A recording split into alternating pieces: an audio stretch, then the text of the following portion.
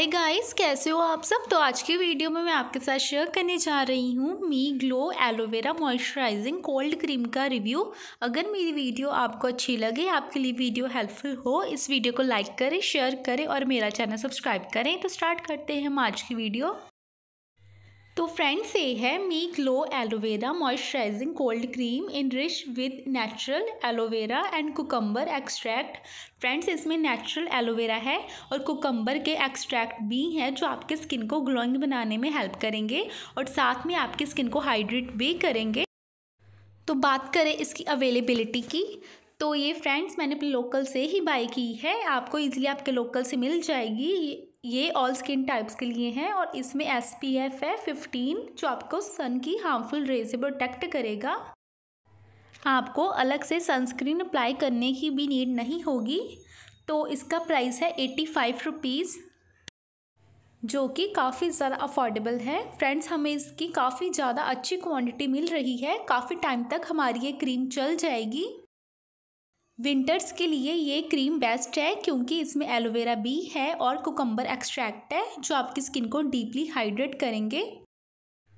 उसके अलावा हमें इसकी काफ़ी अच्छी शेल्फ़ लाइफ मिल रही है।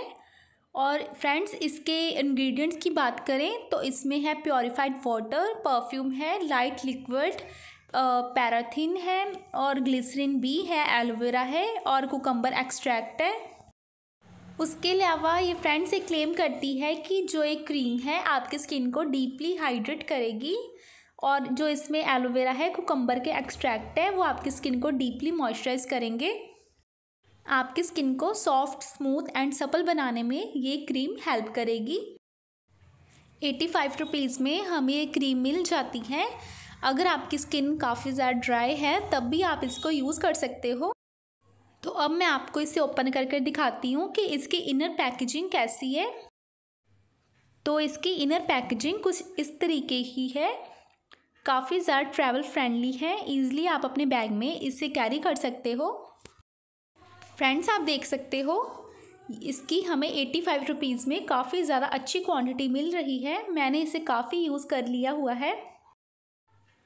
फ्रेंड्स ये क्लेम करती है कि ये ऑल स्किन टाइप्स के लिए है बट फ्रेंड्स आई फील कि ये ऑल स्किन टाइप्स के लिए नहीं है, क्योंकि इसकी कंसिस्टेंसी थोड़ी सी थिक है। ये आपके फेस पे एक शाइन देगी, जो कि मुझे इसकी बिल्कुल भी अच्छी बात नहीं लगी। अगर आपकी स्किन काफ़ी ज़्यादा ड्राई है तो ड्राई स्किन वालों के लिए ये क्रीम काफ़ी ज़्यादा अच्छी है। ये आपकी स्किन को डीपली हाइड्रेट करेगी। अगर आपकी स्किन ऑयली है तो फ्रेंड्स ये आपके फेस पे एक ऑयली सी शाइन दे सकती है। अगर आप कोई ऐसी क्रीम ट्राई करना चाहते हो, जिसमें एलोवेरा हो और कुकम्बर के एक्सट्रैक्ट हो तो फ्रेंड्स आप इसको यूज़ कर सकते हो। बट फ्रेंड्स ये ओनली ही ड्राई स्किन वालों के लिए सूटेबल है। एटी फाइव रुपीज़ में हमें इसके one twenty five gram quantity मिल रही है। काफ़ी टाइम तक हमारी ये क्रीम चल जाएगी। तो फ्रेंड्स ये थी आज की वीडियो अगर वीडियो आपको अच्छी लगे, आपके लिए वीडियो हेल्पफुल हो, इस वीडियो को लाइक करें शेयर करें और मेरा चैनल सब्सक्राइब करें. तो मिलती हूँ मैं आपसे अपनी नेक्स्ट वीडियो में. Thanks for watching